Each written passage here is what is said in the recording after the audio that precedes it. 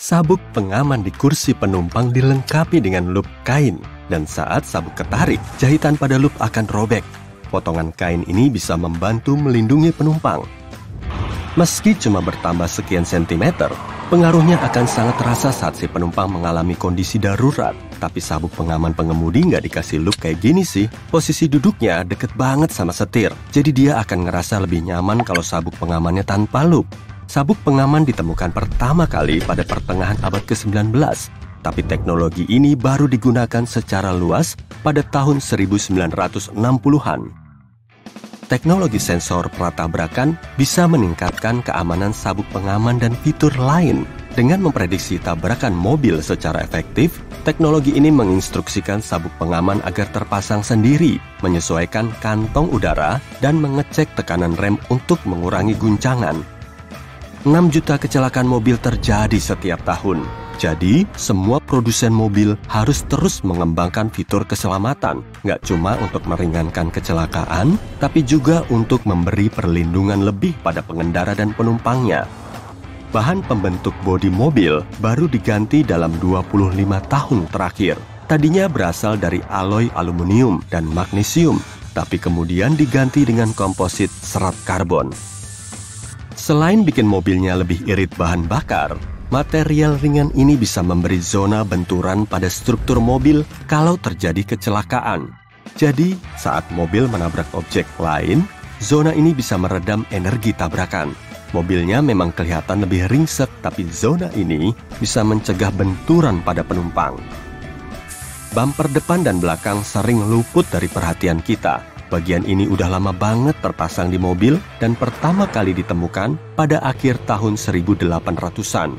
Bumper terus berevolusi seiring waktu hingga kita sering melupakannya. Pengaman mobil ini terpasang di bawah kap luar dan terbuat dari foam atau plastik kompresi di sekitar batang kokoh. Semua jendela mobil terbuat dari kaca kecuali jendela depan dengan bahan anti pecah. Jendela ini diberi kaca berlaminasi agar serpihannya nggak nyecer ke kursi depan saat terjadi benturan. Awalnya memang cuma pakai kaca biasa, tapi mulai diganti sejak tahun 1950-an. Saat itu, kendaraan semakin dianggap penting dan berbagai modifikasi perlu dilakukan untuk menjaga keselamatan. Kantong udara termasuk fitur mobil yang sudah ada sejak lama, Kantong ini awalnya ditemukan pada tahun 1968 dan perlahan semakin populer. Sebagai langkah keselamatan, kantong udara harus terpasang di semua mobil sejak tahun 1998. Sejak saat itu, kantong udara nggak cuma ada di dalam setir.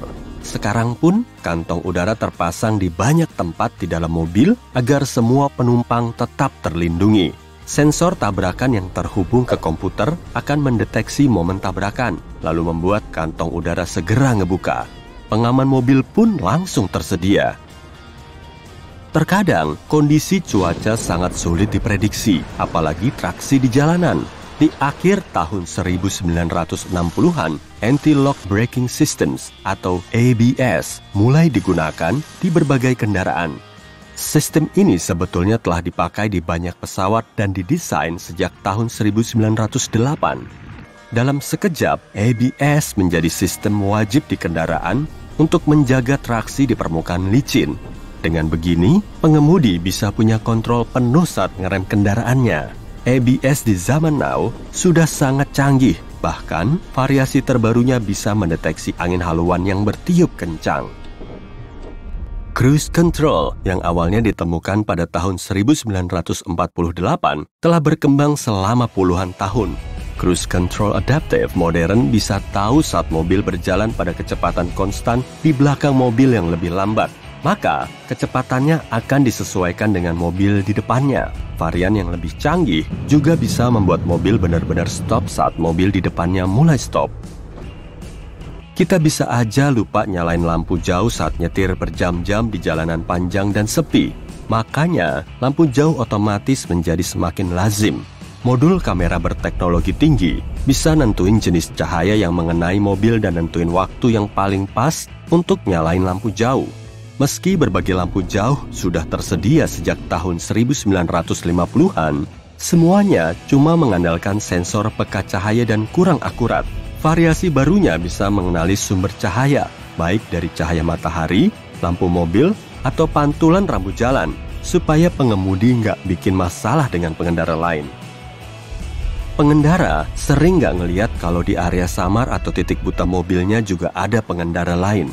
Hal ini telah menyebabkan sekitar 400 ribu kasus kecelakaan setiap tahun. Sensor matahari di bumper belakang dan sistem monitor titik buta bisa mengamati dan mengidentifikasi jalur di dekat mobil. Sistem ini akan ngasih tahu pengemudi kalau kendaraan lain bisa aja melintas di dekatnya. Caranya dengan ngedipin lampu di dashboard atau ngeluarin bunyi beep. Dengan begini, masalah yang ditimbulkan oleh titik buta bisa teratasi. 1,6 juta kasus kecelakaan lalu lintas disebabkan oleh pengendara yang suka main ponsel sambil nyetir. Sementara itu, kelelahan telah menyebabkan sekitar 10% kecelakaan mobil setiap tahun.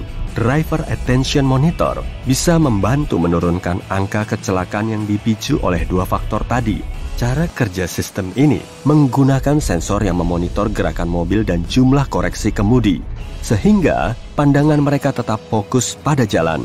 Saat mengetahui si pengemudi mulai ngantuk atau main gadget, sistem akan ngeluarin sinyal yang nyaranin dia untuk beristirahat. Ban termasuk komponen mobil yang paling penting dan bagian ini berhubungan erat dengan jalan yang dilewati. Berbagai fitur keselamatan juga dipengaruhi oleh ban agar fungsinya bisa maksimal. Jadi pemilik mobil harus menjaga kondisinya tetap prima. Sistem monitoring tekanan ban bisa ngecek tekanan udara di keempat ban untuk ngasih tahu pengendara saat bannya perlu tambahan tekanan. Dengan begini, ban mobil nggak akan gampang meletus. Teknologi terus berevolusi agar pengendara tetap aman di ruas jalan yang lebih panjang Sistem peringatan jalur berangkat bisa mendeteksi garis-garis di jalan agar mobil tetap ada di jalurnya. Tiap kali mobil keluar jalur tanpa ngasih isyarat, fitur berbasis kamera ini akan segera tahu, kemudian ngasih sinyal ke pengemudi. Fitur Lane Keeping Assist juga memakai metode pengenalan yang sama saat mobil menerobos jalur di sebelahnya. Kalau jaraknya terlalu mepet, sistem akan ngepasin setir dan ngarahin mobil ke jalur yang benar. Ada juga fitur lain yang lebih canggih, yaitu mobilnya bisa nyetir sendiri. Sistem autopilot telah membuat teknologi cruise control jadi lebih maju. Sistem ini nggak cuma bikin mobil bisa nyetir sendiri pada jalur dan kecepatan yang ditentukan, tapi juga mengubah jalur kalau diperlukan sehingga perjalanannya semakin efisien.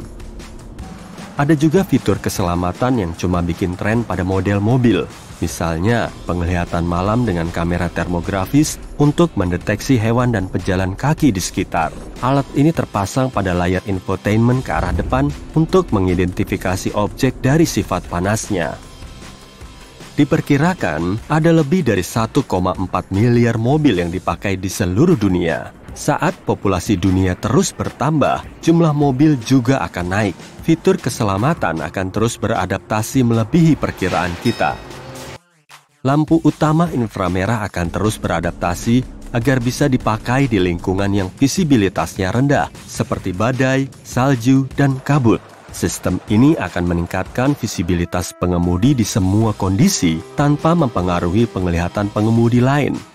Sistem driver override akan bisa memonitor dan mengidentifikasi perilaku manusia dalam waktu dekat, entah karena kecerobohan pengemudi di jalanan atau untuk menjaga keselamatan lain.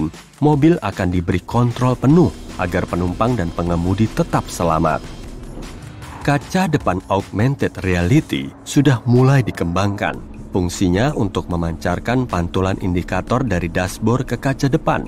Mungkin semua tanda peringatan dan penunjuk arah pada peta akan muncul di depan pengemudi supaya pandangannya tetap fokus pada jalan. Kantong udara kemungkinan besar nggak cuma dipakai untuk menjaga keselamatan penumpang di dalam mobil, tapi juga bisa diaktifkan dari luar mobil saat sistem mengidentifikasi tabrakan. Lalu, alat ini akan ngebuka dan menutupi seluruh bagian luar mobil untuk mengurangi benturan secara drastis. Pasti teknologinya bakalan canggih banget, dan bodi mobil nggak perlu dipoles lagi pasca tabrakan. Teknologi masa depan diprediksi akan berkembang pesat. Mobil akan punya bentuk komunikasi khusus dengan mobil lain. Bakal kayak apa ya kalau mobil bisa saling berkomunikasi? Mobil-mobil itu mungkin akan saling bertukar informasi saat mengidentifikasi blok jalan, masalah di jalan, atau pola cuaca yang mengganggu. Dengan begini, kendaraan tersebut bisa melewati rute yang paling aman dan efisien.